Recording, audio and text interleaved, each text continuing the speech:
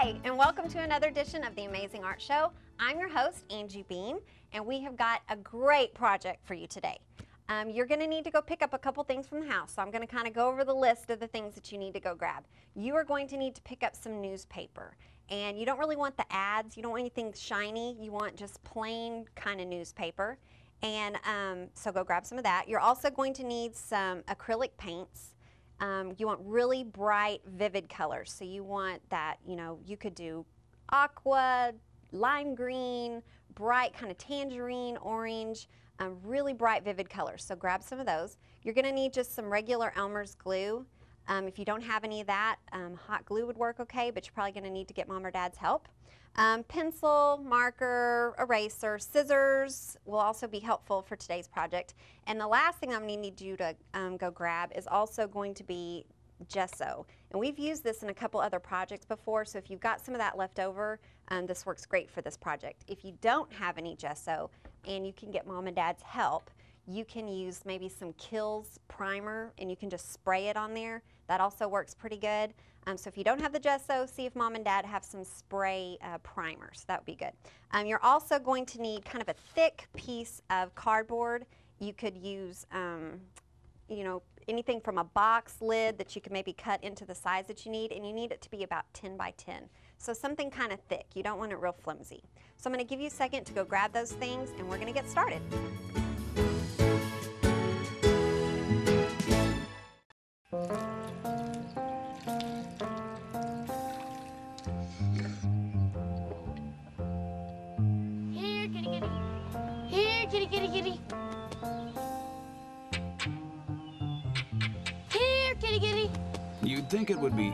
Tell which kids have trouble with their eyesight. But that's not always the case. Even though one in four children may have a vision problem, eye doctors tell us the symptoms aren't always so obvious. We do know that 80% of all childhood learning is visual. And without good vision, kids can have trouble learning to read. And may fall behind in school.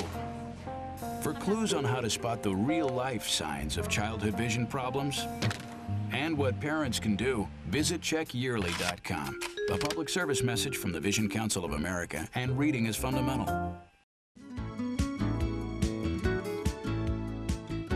Welcome back. I hope you had a chance to grab all of the things that you need from around the house because we are ready to get rolling on this.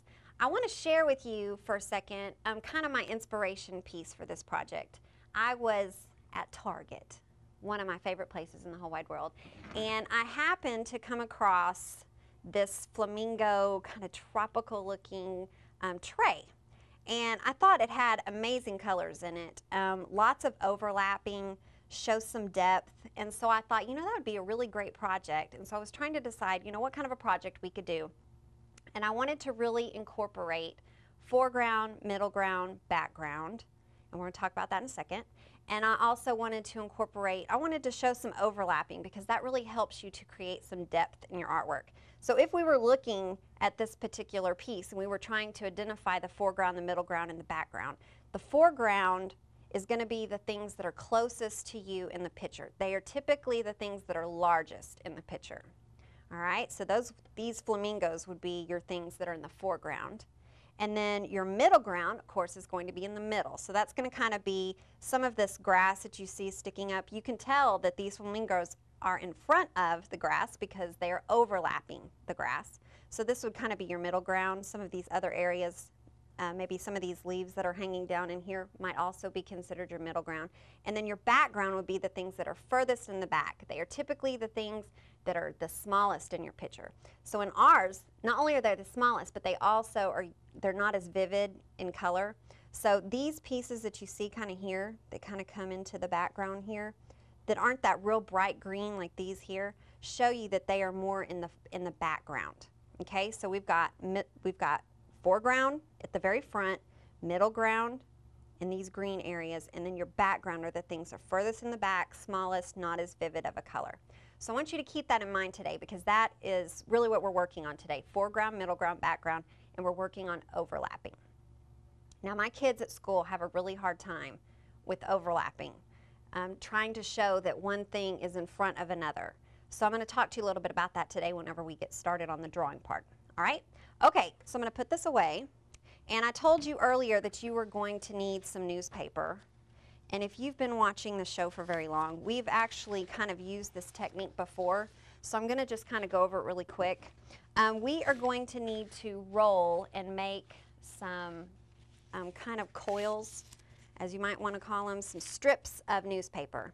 And the way we're going to do that is really easy. You're going to need a ruler. If you don't have a yardstick, yardstick works the best, but if you don't have one, you can use a ruler. You just have to kind of keep adjusting. So I'm going to take my paper, and I, I've kind of, after I've done this for a while, if you'll kind of go ahead and fold your paper a little bit, and then you won't be rolling and rolling and rolling and rolling. It'll go a little bit quicker. So you're going to line the edges up and you are going to start rolling. The object is to try to keep your paper really tight as it rolls around the ruler. And so you can do a couple rolls just to kind of get it going. Once you get it going, you want to put some glue down. And it does not take a ton of glue, just kind of a little bit here and there. You don't have to cover every single bit. Try to really hit the corners and the edges so that they will lay real flat. So you are going to roll a little bit more, and if you need to add some more glue, you can. Last little bit, put a little dot of glue there. Now, after you get that done, you are going to need to pull your ruler out. And then you're going to need to take your ruler and you want to flatten it out because we don't want it to be round or oval in shape. We want it to be very flat. We're making like a strip. All right? Now, you are going to need about 12 of these to complete our project today. You will have a few left over, but it's probably better to go ahead and roll um, and have some extras just in case you have a problem. So um, I want you to get about 12 of those rolled, and once you get those rolled, we're ready to start making our canvas. Our canvas is kind of weird today, but lots of fun. So I'm going to just kind of do a little mini one. I'm not going to be working on a big sheet of paper like you are at home. Your piece of paper, remember, is 10 by 10. Mine's a little bit smaller than that. Um, but I just kind of want to show you the steps, and I think you're going to get it. It's really, really simple. All right, so I'm going to start with my strips of paper.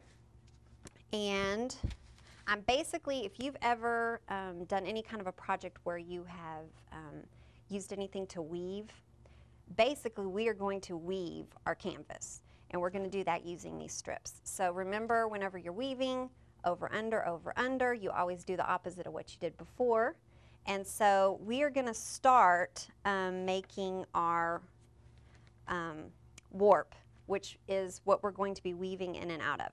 And then what you weave with, which is what we'll be using in a second, is going to be your weft. All right, so we're going to make our warp first. So in order to do that, my pieces of paper are so long, I'm hitting everything. All right, so you're going to need to put a couple strips that will go long ways down your paper. Remember that this is called your warp. So we're just going to lay them off. And I want you to see that when I put these down, I'm not putting the edge of the paper on the edge of my piece. So I'm going to kind of hold that so you can see it a little bit. These are hanging off. We want them to hang off. There's a reason behind my madness, I promise. All right, so you are just going to line these up and they can be pretty close together. You can put a little bit of space in between, but you don't have to put a lot. And let's see, we're just gonna line these up here. It doesn't really matter if they're even.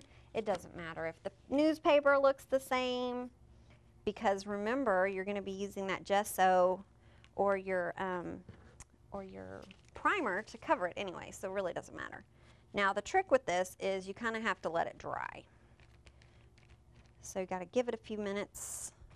And if it comes up, it's no big deal. Now, we now have our warp, which means we've got all these different layers laid down here, and we're now ready to begin the weaving process, which is the over, under, over, under. We're going to be weaving with what is called a weft. All right? Okay, so I'm going to kind of hold mine as I begin to weave. You might want to kind of glue your pieces down and then come back in a few minutes after it's dried a little bit. Now I want you to notice before I get started here that my end pieces are not glued down so these all can come up here. It's just glued on one side, all right? Okay, so I've got my weft, and you can start either going over or under, it doesn't matter. I always kind of like to start going under. So I'm just going to kind of stick that underneath there. And you can kind of, the reason why it's good to kind of leave those up is that you can kind of pick those up as you need to and pull it through. And you want to pull them through pretty far. And if those other ones start to come up, just push them back down again. Now this first time I went under, over, under, over, under. So then this next time when I start my next row, I'm going to do the opposite of what I did before. So the, on the first one, I went under, so this time I'm going to go over. So I'm going to go over the first one, under the second one. And I'm going to continue that pattern. And you want to scoot these up really close together. So it kind of looks like a basket in a way because you're creating a really tight pattern of that over and under weaving. You don't want there to be space in between your wefts, all right? All right, so I'm gonna continue to do that. And I'm gonna do the opposite of what I did before. So before I went over, so now I'm gonna go under. And you are creating a pattern as you are doing this. If you happen to notice after you get going that you've made a mistake, it's no big deal. At this point in the game, it is very easy to fix. Just pull it out and fix what you need to fix. All right, you're going to continue to do this until you get down to the bottom um, of your, your kind of cardboard sheet of paper. And once you get down to the bottom, you can stop and you're going to kind of put a some couple little dots of glue to kind of hold everything in place. So I think I'm going to I think I'm going to do one more and then I'm going to stop. All right, so this one is gonna go, my pieces are moving. All right, under, over, and last one.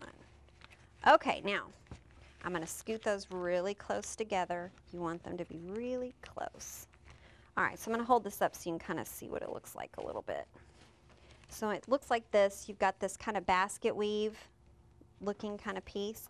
It's okay that these are sticking up. It's okay that they're different lengths. I was going to also tell you, you know whenever you had these long ones like this, for your weft, you can cut one in half and it works good because they're a little bit shorter, not so difficult to work with because they're so long. All right, so we are going to stop here so I can show you kind of what I need you to do next. All right, you are going to need to get your glue. And right now, you can kind of lift this up and it, it's not sticking. So we need it to stick down to that. So we're gonna take some glue. You can actually be generous with your glue on this one. I know I usually tell you dot, dot, not a lot, but you can just glob that glue on there this time. All right, so you're going to glue that down. And the next thing that we're gonna need to do is you can just kind of put this to the side and let it dry for just a little bit. Um, the next thing you're gonna need to do is use that gesso to paint over everything. I'm not going to show you that process because it's just pretty simple. You just use your brush and you paint over everything. You want to make sure you get down into those little cracks. Um, if mom and dad are going to help you use the, the Kilz primer to spray on there, make sure you're in a well ventilated area. Let mom and dad help you with that. All right. So you're going to spray this. By the time you spray it, everything's going to be all the same color. All right. So I'm going to put this to the side. This was just kind of my little little example to show you. And I'm going to kind of show you what it looks like after it's got the gesso on there. All right, so it kind of is going to look like this. And the next thing we're going to do is you're going to need your pencil and we're going to work on that sketch, okay? So what I'm going to want you to do is remember that we're working with foreground, middle ground, background, and I want you to show overlapping, all right?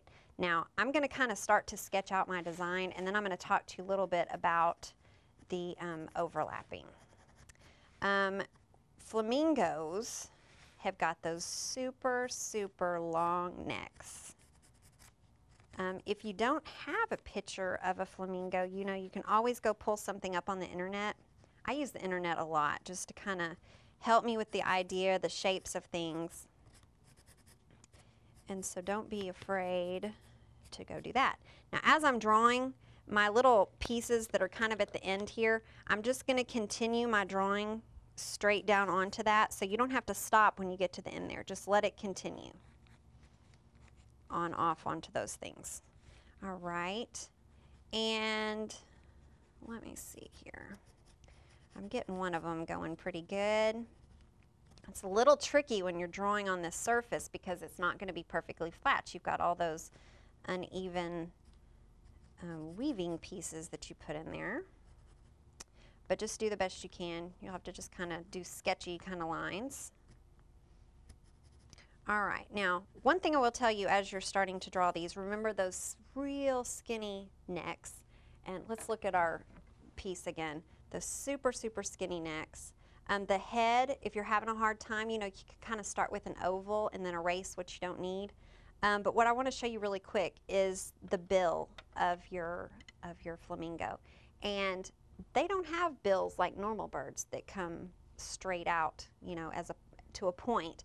Instead, they've got these beaks that kind of curve down, all right? So you're looking for that that kind of comes out from the head and then curves down. And I've got some actually some inter interesting little um, flamingo facts that we'll talk about here in a little bit um, as to why their beaks are like that because they they end up filtering their food out of the water that they drink. And so their beak kind of acts like a little trough that kind of holds the water. And then they have got kind of comb-like um, particles in their beak that kind of hold, they come down and they help to hold in the food or the nutrients and it lets the water filter out. So the bottom of their beak is kind of shaped kind of like a boat in a way. It's kind of um, concave like this. And so the bottom of their beak is like that, and then the top kind of acts as a lid. So, and then these little comb-like structures are all inside the bottom part. And so as they're kind of doing their head down in the water, it helps to filter out the water, but keep the nutrients inside. All right, so as you're working on that curved down beak, um, I'm gonna start, I'm gonna kind of turn this so you can see it a little bit. And I'm gonna start working on my other flamingo and I want him to come across this direction so that their necks are going to overlap. So when I look at you, let me find something. Okay, look, when you look at this and these two things are overlapping each other, you can't see through the pencil to see these parts of the, of the marker because it's behind it. So it's kind of the same concept whenever you're trying to draw something. When it goes behind something, you're not able to see certain parts of it. It doesn't mean you can't see the parts that come down below or the parts that come up higher. You do see those parts. You just don't see the part that is directly behind the object that's in front. So I want you to kind of keep that in mind as you're beginning to sketch out your drawing. So I'm going to, a lot of my kids, they have problems with this. So sometimes I'll tell them, you know what, just draw it over it. And that way it kind of helps them to keep the image all together and then go back and erase what you don't need. All right? So I'm just going to quickly get my sketch in there. So not only are your flamingo necks and heads going to somehow overlap one another, and that's up to you. You could overlap them just a little bit. You could have them, they could be twisted up in a little flamingo mess. Maybe their necks are just like, that'd be okay too. Make it kind of funny. So I'm going to finish up my sketch. Not only do I want you to have the, the necks overlapping. I also want you to fill in your background with lots of leaves and foliage. So I want you to think about tropical leaves, the colors that you see, the textures that you see, and I want you to have those shapes coming in there, and I want to have them overlapping. So some of the leaves will look like they're on top of the others, and some will look like they're behind. So same kind of concept. If you need to draw it first and then go back and erase what doesn't need to be there, that's fine. A lot of people do that, so it's no big deal. So I've kind of finished my flamingos. And this, um, this particular drawing that we're doing today, it doesn't have to be super detailed. If you want to get real detailed with it, you can, but you don't have to. Do not forget the eye of your flamingo. They have very round eyes. If you happen, yours happens to fall, kind of like mine did, where the eye hits right where it's in between two of your of your um, your warp and your weft, there's a little hole in there. It's no big deal. You can kind of fill that in with the marker. So don't worry if something like that happens. No big deal. All right, so I'm going to um, kind of leave you guys to continue to add your, your background, which remember you're going to do lots and lots of different kind of leaves. So I want you to think about the jungle and heavy, heavy foliage. All right, remember to keep those leaves overlapping. You could even, if you want to, you could have a, you know, maybe part of a leaf comes down and overlaps your flamingo. That's okay too. And remember that we want your drawing to go all the way into these areas. So let them go down into these outer areas. It's okay. Now once you get that finished, I want you to come in with a marker and I want you to outline everything. Because as you're doing this and because your surface is so uneven, sometimes as you're beginning to add color, it gets a little confusing if you can't really see your lines well. Make sure that if you, um, if you did go ahead and draw all of the lines, make sure that you've gone back and erased what you needed to erase so that you don't accidentally go over it with marker. If you did, it is no big deal. Sometimes the best things when you're doing a project is you might make a mistake, but you know, sometimes you can fix a mistake and you know what? Sometimes in my projects, my mistakes turn out to be one of my favorite things about the project. So don't always be so eager to erase all of your mistakes. All right, so I want you guys to continue outlining, get your drawing done, and meet me back, and we're going to talk about adding color to your picture.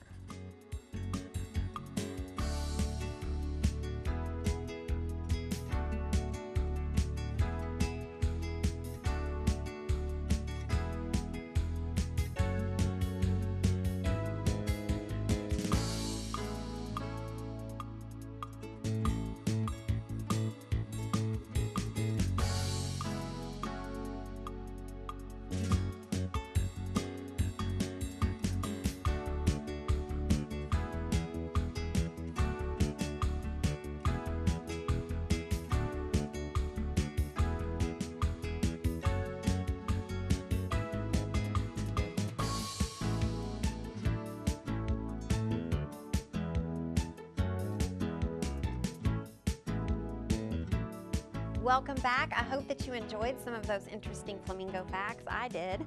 Um, I've been busy working and um, adding some color to my picture. And um, a couple things that I want to talk to you about really quick um, is remember how we talked about whenever you're trying to create depth that not only do you overlap, but we also talked about middle ground, foreground, background. And remember we also talked about that the colors change as they go back into the background. They get um, not so rich and dark, they get a little lighter. So um, as I've been working today, I've been kind of trying to keep that in mind. So I want this front flamingo here to appear as if it is in the foreground. All right, so it's in front of this other flamingo. And so kind of in order to do that, I kind of wanted to change the color of this other flamingo that's further in the back a little bit. So um, think about kind of modifying the color a little bit. That also helps to create a little bit more depth in your picture. So as you are, you know, adding color and um, creating that kind of overlapping effect. Keep in mind that color also is a big factor. Um, also, I want to kind of point out to you guys as you're working that remember how I was telling you to continue your paint color and your drawing all the way down onto these, these little things that are hanging off here. So take that paint color all the way down to the bottom because you're going to actually be using that. Now I will tell you one thing about this. Sometimes you have to do two coats of paint on these and on this one right here I do not have two coats of paint but my example that I'm going to show you here in a minute does have the two coats. So um, keep that in mind. If you get done with your picture and it's not quite a really vivid bright color, you may want to consider going back over it again. Um, also, as you're working, do not forget to really get that brush down into those little cracks and crevices and get your paint down in there. All right? Okay, so I'm going to stop on my painting part for today. Um, and I want to talk to you about the next couple little things that you need to do. You are going to actually be trimming off these side pieces here. All right, so let them dry and then you are going to come in and just trim those off. And those can actually just go in the trash can unless you would like to try to do something else with them. And mine is being very stubborn and I can't get it off. All right, there we go. So I'm going to trim all of this off. These on the top and bottom, however, are going to stay. They will stay on there. Some of these that um, when you were rolling, they're a little thicker than others, so some of them will cut easily and some of them will not. So if you've got a couple that are, are tough, get mom and dad to help you. All right, so after I get these side pieces cut off, and whatever you've drawn on there, it's okay. Sometimes to just cut it off. It's no big deal. I know you're thinking, I oh, I worked so hard on that, but it's okay. All right, so now what we're gonna do is these pieces here, we are actually going to fringe the edges. So what that means is my piece of paper, if you'll look on the back here, my piece of paper comes down to here, all right? I wanna do cuts in the paper that goes all the way to my cardboard piece of paper, all right? And you're gonna do that top and bottom all the way around. Now remember, mine is not fully finished painting yet. Yours should be and give it a little bit of time to dry. And after you start cutting those little slits in there, fringing your edges, once you let them dry a little bit, you can kind of come back in and separate that paper a little bit. And I'll kind of show you what that looks like here in a minute. All right, now, so you're gonna fringe top and bottom, all of these little things here. You want fringed edges. All right, last thing that we're gonna need I didn't mention this to you in the very beginning because it's kind of optional. If you have just black, um, black acrylic paint, you could just use a small brush and black acrylic paint. Or um, on a show before, I've used this before, I've got just black latex paint that has a little bit of water in it, so it is um, watered down a little bit. And basically, you're just going to go in and re-outline over everything, leaves and all. All right. Don't forget to get in there around those, the beaks. And something else, as you're starting to add color, I should have mentioned this to you guys earlier, but um, flamingos' eyes are always yellow, unless they are a baby flamingo. And then they have gray eyes for the first year of their life, which I thought was fascinating that their eyes were gray. I just don't know what that would look like. Um, not only are their eyes gray, but their feathers are also gray for the first, first little bit of their life. All right, last little thing. Down here on the bottom where you have fringed, you can come in, you could do, you know, lines to kind of seal off this place, or you could do dots. Kind of up to you on how you would like to do that. All right, so let me show you the finished product here. So this is kind of what we have going here. So you've got all your edges are fringed, kind of like a grass skirt, lots of fun. And um, remember your color goes all the way to the end. I did dots on mine after I outlined everything. Um, so this is our finished product for today. You can hang this on the wall and be very proud of your work. Now let's talk about our art quote for the day. Creativity is allowing yourself to make mistakes. Art is knowing which ones to keep. Our quote this week is by Piet Mondrian. All right, boys and girls, I hope that you had a fun time with our project today. Now go out and make some amazing art.